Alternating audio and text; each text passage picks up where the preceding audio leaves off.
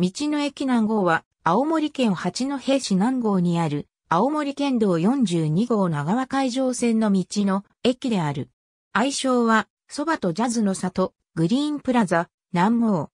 なお、隣接するスポーツ施設、各校の森エコーランドも、本校にて記述する。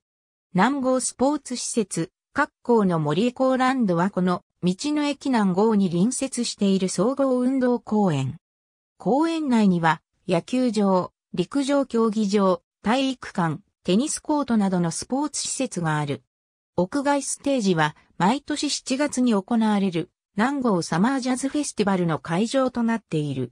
日本陸上競技連盟公認全天候型400メートルトラックがあり、天然芝グラウンドでは各種球技も行われる。スタンド席はなく、全方位芝生席である。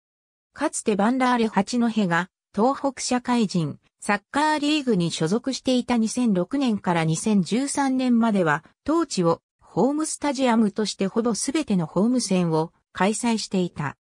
JFL に昇格した2014年からは、ホームスタジアムを八戸市東運動公園と古古町ひばり屋公園の各陸上競技場、2016年以後は J リーグ参入を見越して建設された八戸下が多目的運動場に変更したため、以後当地でのホーム戦は行っていない。